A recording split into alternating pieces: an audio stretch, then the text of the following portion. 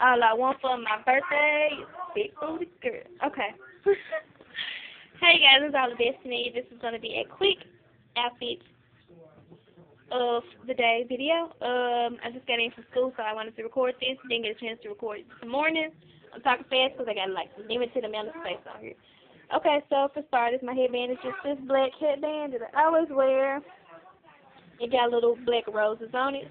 And then I'm wearing this black cardigan. I don't know what this is called, but it's a black thing that's going over my outfit.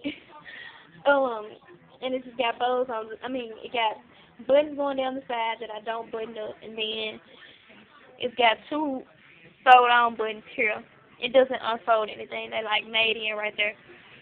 Then my tank. This is a tank top that I got under here because I thought it was gonna kind of warm up today. And then my tank top has this little bow made onto it, and then it comes all the way down like that. And it's like this, not like the straight across kind, so it make me look like this. Okay, so I'm wearing regular blue jeans. Hello, one for my birthday. Okay.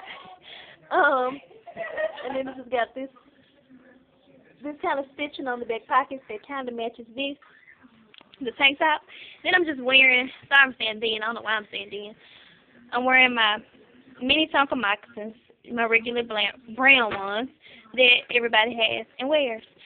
My hair, I curled it with eight flexi rods last night, and then I just separated them into smaller curls to make it look like pop. This was like split back all cute, but it got ruined. By the way, my little sister picked out this outfit because Look, my little sister just picked out my outfit, okay? I had to say it because she's right there. my nails are breast cancer nails. Wait. If you follow me on Instagram, then you already saw these, but they're just regular breast cancer nails. And I'm going to, I can't insert pictures into this video, but if you follow me on Instagram, Facebook, and Twitter, and also for just random updates about my life in school and crap like that, then the links will be below, and links about my outfit will be below. So this is just my regular outfit for school. Thanks for watching, and I'll talk to you guys later. Bye.